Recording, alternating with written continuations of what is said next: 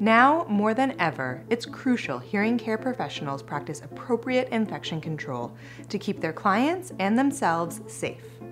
That's why we created the course Infection Control for the Hearing Clinic, with a full section dedicated to pandemics and outbreaks.